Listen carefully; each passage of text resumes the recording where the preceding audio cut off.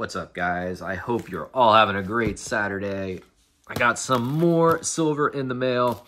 Now, I'm only wearing one glove today because, yeah, my wrist is screwed up. Um, when you lift so many monster boxes, you kind of get some uh, tendonitis there, but I should be okay. We'll see. Really don't want to have to pay for surgery, that's for sure, but let's see if what I got today is worth it. Ugh. God, this is this is nuts, guys. I am a gimp here. The world's slowest unboxing. Ugh. But I got Stacker Pupper keeping me company, and I got you guys, the best freaking fans in the world. So I'm gonna zoom in here. Actually, I'm gonna open these first, and yeah, if I'm a little spacey today, guys, it's just having an injury sucks. It gets me down. I was trying to take out the trash today, and it took so long. And uh, not to just complain or anything, but these type of injuries are weird. I've had a sprained wrist and sprained ribs before, and they hurt like heck for like two months straight. Like you, I couldn't even sneeze or cough. Um, but then I woke up one morning and they were just totally better. Everything was fine. So there was no tapering off period, and I'm hoping that a wrist injury like this is the same.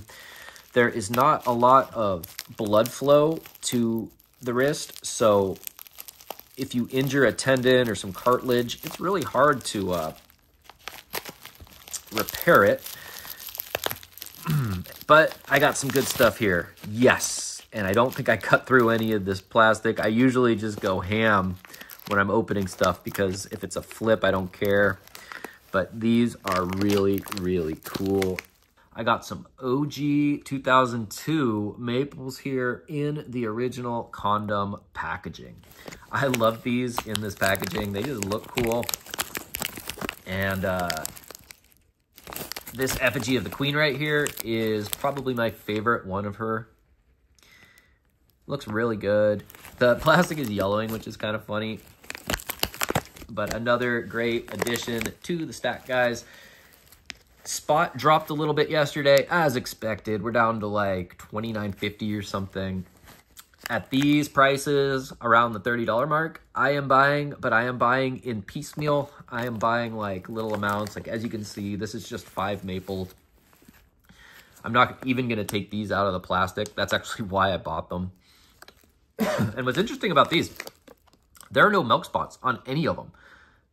Unless that's a milk spot there. I can't really. No, that's on the on the plastic. So no milk spots. Which makes me wonder why the new one had milk spots.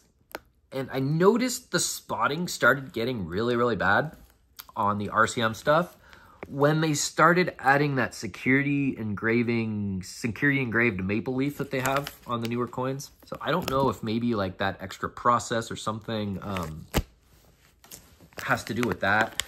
I just know these are super beautiful and they're going into the deep stack. It's Saturday, guys, the best day of the week.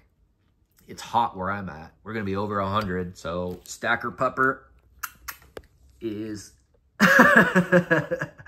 gonna be having some fun today as we go out when it gets cooler. But yeah, nice little unboxing today, guys. As always, keep on stacking. This is Stacker Factor, signing off.